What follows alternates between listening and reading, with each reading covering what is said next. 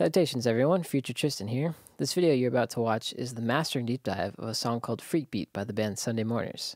If you'd like a little more context into this video, feel free to click here to watch the deep dive of the mixing session so you can really get a sense of what went on in this session. Thanks and enjoy. And yeah, that was it. Wow. So um, it does not it did not need to be this simple and I did not need to make it as super complex in the mix. So therefore like, you know, I'm glad how everything kind of shaped up to be when I was mixing it. And uh, I then sent it off to Max to he he said he was going to cover the mastering. Or actually wait. No, I did the mastering because um, I do remember that part actually, which I could show because um, I get confused because uh, there have been other songs of theirs that I did do just the mixing for, and Max did the mastering for. So Oh, okay. there's a couple songs in that case, but in this case, I did do both, and I could always pull that up. Sure. Just take a look at the masters. Typically, when working, I tend to have a, uh, I tend to have a uh, mastering template. Um, I have a couple. I have one of work that I worked on from 2020 to 2021, and then I have my general one that's for bit rates of um, 24, 44, 1, and then I have this one for 24, 48. And for this song, uh, Freak Beat, I think it was 24, 44, 1. So that's why I will do that. So I've worked on a couple tracks since then. So now I just gotta find that one way up in here What are you There we go. What's going on here? Why do you have all these tracks in one in one session. Yeah. Um, again, just for uh, for uh, sample and bit depth pur- purposes, this, these are just all my tracks that I've recorded in 24, 44, 1. And then in another session, I will have some in that I've recorded in 24, 48. And I just like having that separation just because, like, I feel like the mixes and the mastering does get a little bit weird, I guess, when you tend to kind of like um, put them all into one session, I guess. So, like if I'm importing a, a 44 or sorry, a 48 session into a 44 session, I feel like I am naturally just going to degrade the the file as is whereas I'd like to keep it as much of the original file as intact as possible. So that's why I like having that separation. Um, it also just kind of helps me keep track of my masters too, of just in general, of, as far as what I've done in the past.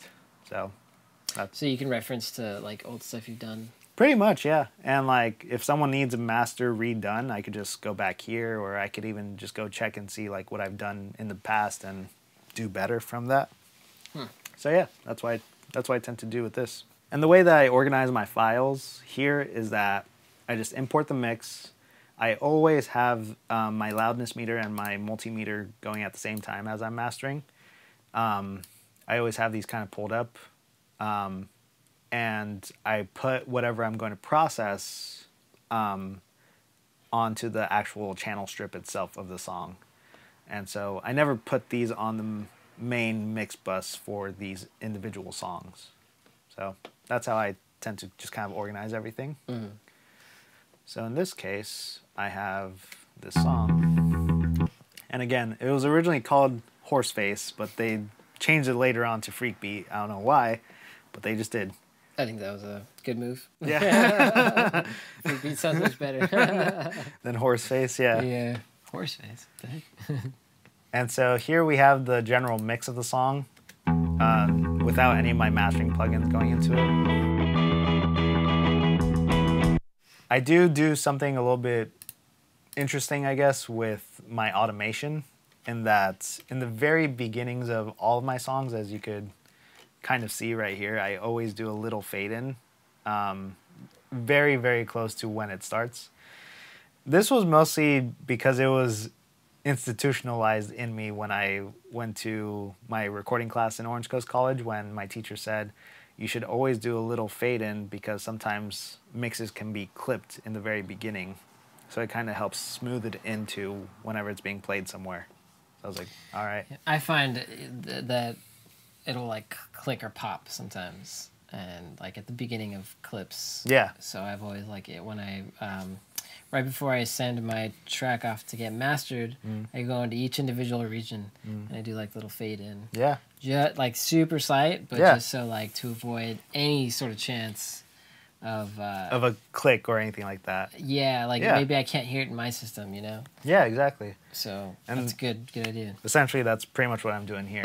So, um, and then the very ending of the song, um, that's when I will do my little fade out of the song in general, do do do, which is right here. Um, I tend to export my mixes a little bit longer than um, what I'm gonna uh, master it to, but that's just for me to just kind of decide later on. Um, with this one, it was just a very tiny bit that I cut off. And typically, when mastering two with the repeat cycle right here, I tend to just export whatever it is it's measured to. So that's my general process with all these cutoffs with all these songs is I cut them off where I left the cycle bar last time. So that's just kind of like how I generally work on this. So then here, in the very beginning of the chain, we do have a linear EQ that's doing absolutely nothing. Nice. And I have this probably because I was comparing it between this and the F6, which is, I guess, doing nothing as well. The mix was so good. I didn't So good. a master. probably the settings got lost at some point, so oh well. but with that said, I did use a limiter to just bring up the volume. Or maybe I just didn't do anything with the EQ. so therefore, that's just kind of like how I left the song, just kind of like brought up the volume. I probably even I probably did do some EQ, but for some reason it just didn't get saved. Um, it looks like in this case too, especially um, this plugin was for some reason saved as left and right, whereas I never use it in that case. I always use it as a mid side. Um, so whenever I'm whenever I am mastering something, I tend to uh, pull up the mid side, and that's how I get to expand the width of a song. So that's that's what I typically tend to do. That's a pretty cool tactic. I like that. Yeah, um, I I do implement a little bit um, what uh, Brent from Hear No Evil uh, told us one time, where it was this trick of basically ra- raising the the high frequencies and the mid or sorry the low frequencies um, n- with a dynamic EQ, but not to compress them, but more to like expanding Oh, basically using it as an expander rather than a compressor, if anything. yeah. Um, so what I would tend to do, I would tend to bring up the sides a little bit using the shelf.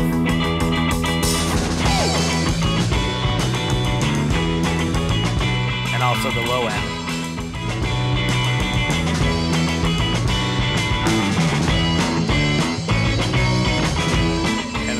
Basically like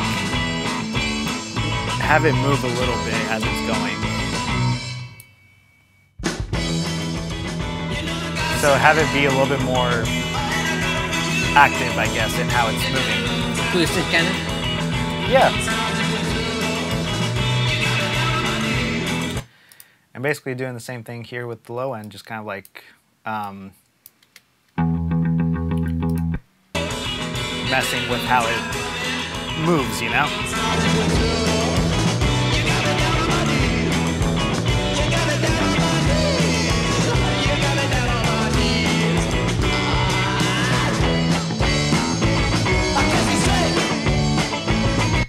So I tend to do this mostly for the side process, just to kind of like bring out again the width of this song. Um, and then for the mids, that's where I'll mostly tackle the frequencies that are troubling me a little bit of whatever it is I'm mastering. So that tends to be my general process for this. And as far as like limiting, um, I try not to be too crazy with it. Um, in this case of this song, I'm pretty sure I did have to be a little bit crazy just to get that desired effect of the general era of this song.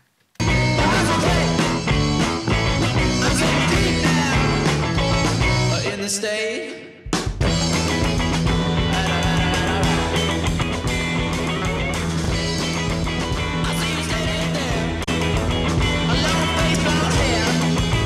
Not too crazy with this song actually, because if anything, I just brought up the gain for sure.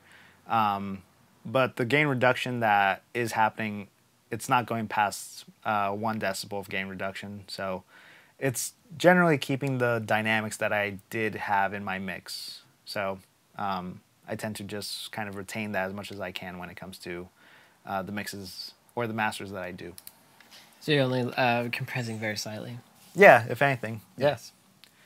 And from that, you know, just uh, just kind of comparing in mono too. That's what this uh, gain plugin is for.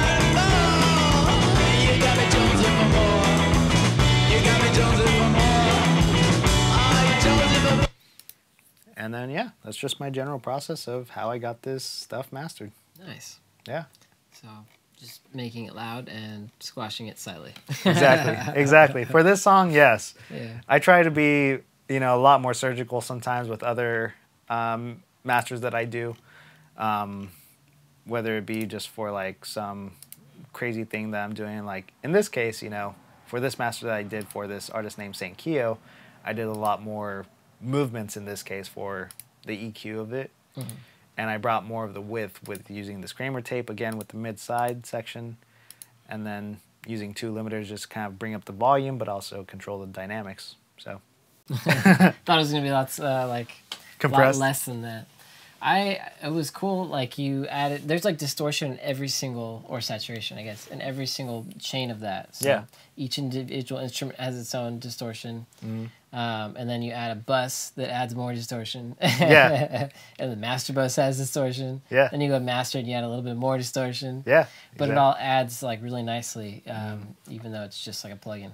yeah, It legit sounds like it was made back in the day, which is crazy. yeah, that's great. So thank you. Mm-hmm. And it's so funny too. When I finished mixing it, I was like, "This doesn't sound that great," but like, but like it sounds like how it did, how it does, like with those records that the Sunday Mourners and I love. Um, so like I, f- I feel like I did achieve that. And then when the song was released, you know, people were like, "Wow, this mix sounds amazing," and like, "You did such a great job, David." And it's like, okay, sure. like I, I was just like unsure what they were kind of hearing, but Yeah.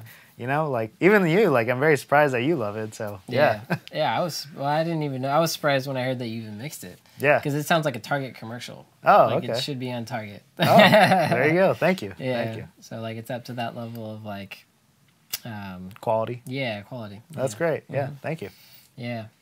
It just sounds like I, I just like the whole vibe of the song. It's really cool. It's like very dancey, but like has that old school sound and old school vibe to it. hmm Yeah. Yeah, and like all their songs, especially from their newest EP, Live at the Pearly Gates, like I did most of the, or I did mixing for half of the EP, and just a lot of it are some of my favorite mixes I've ever done, and just like the overall vibe is really there uh, as far as like dancing, energetic, very sort of chaotic too. So yeah, Yeah. I could definitely. Yeah, I get that vibe. yeah, when they when we played with them at uh, FTG Studios in Santa Ana, um, we we went on before they did, and then they came out after us. Mm-hmm. And uh, I remember at the near the end of their set, they were like, "Hey, uh, do we got time for one more song?" And then the singer was like, "Yeah, that's fine." Yeah. And they proceeded to play like a twelve minute song. exactly, yeah, yeah. So and it was just you know like mostly him on the ground, like playing guitar, shredding and stuff. you never know what you're gonna get with them. So. Yeah, screaming into a mic. Yep. It's very memorable. Yep. Yeah. Yeah, it was a very entertaining show. So. Yeah, exactly. Yeah, definitely good times. That's right. Yeah. So, so thank you for indulging with me. No problem. Thank you. I love like this is really cool. It's cool to see it because I hear one thing I also really liked was like the exact place of like the how do I put it where it faded out like the reverb and the delay tails of like the vocals. Mm. Yeah. There's like this gap where it's just just that, Yeah. just the reverb and delay tail of the vocal, mm-hmm. and then it, as soon as it ends, it, the, everything just kicks in perfectly. That's great. It's yeah. crazy how like you just time that so perfectly. Yeah, and that that wasn't even like put a lot. I didn't put a lot of thought into that. You Mm. know, like it was just me like hearing and reacting with it. You know, Mm. just kind of like okay, maybe I can make that a little bit shorter, but like I didn't think like okay, it should be this many repetitions before it kicks back in. You know, like Mm. it, it, it was all very much like Whatever whatever was instinctual kind of thing. So, Yeah. Yeah. Pay, it sounds great. So that's cool. You got good instincts. Yeah. Thank you. unlike me. I am constantly like, oh, I gotta go back to you know, I'll check the next day, Yeah. come back to the mix the next day, and be like, okay, all right, you screwed up here, you screwed up here, Yeah. Totally. and just like fixing things over like a period of a couple weeks. That's right. Yeah. Uh, yeah, thanks, man. Thanks for showing us. Of course. Hopefully, you guys enjoyed it out there. Yeah. Yeah, This thirty minute breakdown. I think it's been longer than It's that. It's been longer. But yeah, thanks for joining us. Um, this has been David Antonio Garcia, uh, audio engineer. Uh, he mixed this um, EP, right? The EP. yeah. The EP, half of it at least. Nice. Yeah. Yeah, for Sunday Mourners, uh, their EP just came out, right? Not yeah. long ago? Came out uh, earlier this year. Yeah, live at the Pearly Gates. Mhm. Go take a listen. It's good stuff. That's right. It's good stuff. Yeah. Especially if it's been mixed by this guy. There you go. Yeah. Thank you very much. Thank you, Sunday Mourners, for letting me mix your stuff. yeah. Thanks for making great music, guys. All right, we'll catch you around. Let me know what your favorite uh, audio tip was in this thing. I think mine was um, I forgot. The saturation plugin, The maybe. saturation plugin blew my mind, man. Yeah. It's, it's all throughout this whole song and it sounds great. Like, Yeah. And and any on any instrument it sounded good. and it's free. Yeah. Yeah, I know. I'm downloading that like ASAP. Yeah, yeah, it's really good. It's really nice. Yeah, definitely. Cool. Thanks a lot. See you around. Ah. that was cool. Can I listen to the drums again? Yeah.